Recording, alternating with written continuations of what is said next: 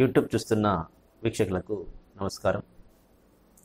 నిత్య జీవితంలో ఉపయోగపడే కొన్ని హోమియోపతి మందుల గురించి గత ఎపిసోడ్స్ నుండి తెలుసుకోవడం అనేది జరుగుతుంది. అందులో భాగంగా నేడు బెల్లిస్పెరా అనే మరొక ముఖ్యమైన మందు గురించి తెలుసుకునే ప్రయత్నం చేద్దాం.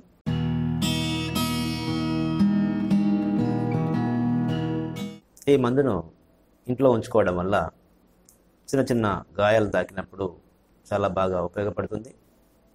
మామూలుగా సున్నిత భాగాలలో దెబ్బ తాకినట్లయితే ఈ మందు చాలా బాగా పనిచేస్తుంది.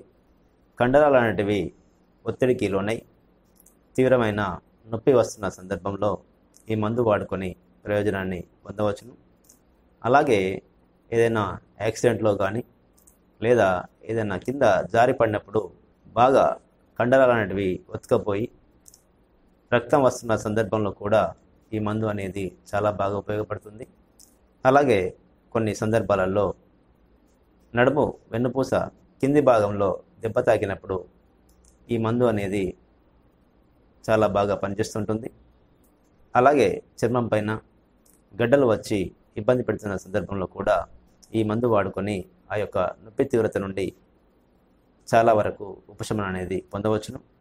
ఏదైనా బాల్ వచ్చి మెత్తటి భాగంలో తాకి ఇబ్బంది పెడుతున్నప్పుడు ఈ మందు అనేది చాలా బాగా పనిచేస్తుంటుంది. ఇలా కొన్ని రకాల గాయాలకు ఈ మందు అనేది చాలా బాగా పనిచేస్తుంటుంది. ఈ మందు ఇంట్లో ఉంచుకోవడం వల్ల ఇలాంటి చిన్న చిన్న అవస్థలకు వాడుకొని ప్రయోజనాన్ని పొందవచ్చును.